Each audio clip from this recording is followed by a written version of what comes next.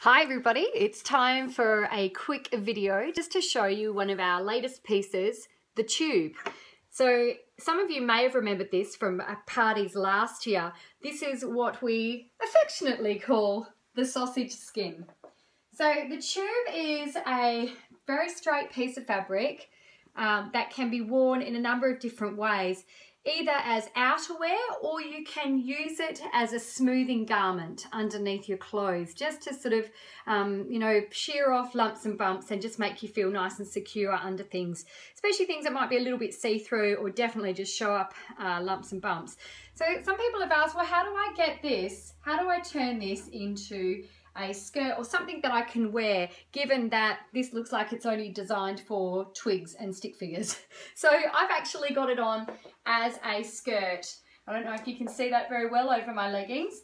And what I've done is I've actually ruched the front of it up so that you've got um, a little bit of detailing through here. Uh, it feels really uh, firm, it's stretchy so it's comfortable, um, but I feel I don't feel um, wobbly or anything in it. So um, really good for covering up the cellulite. So how would you turn it into a skirt? Well, you have to kind of reach in. There's a seam at the back of the of it. Uh, so what if you just put your hands down to the bottom inside and then you're literally folding it in on itself. Give it a bit of a shake and you can see that I've halved the length of that. And then it's just a matter of pulling it on as a skirt.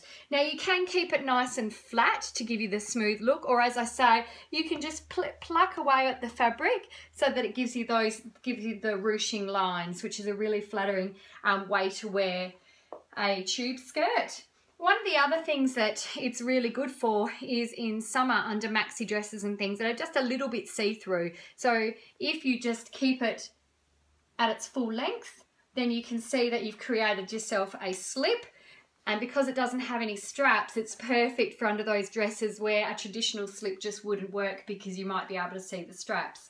So I'm just going to change the video. I'm going to pause this video here and then I'll come back and show you another way that you can wear it.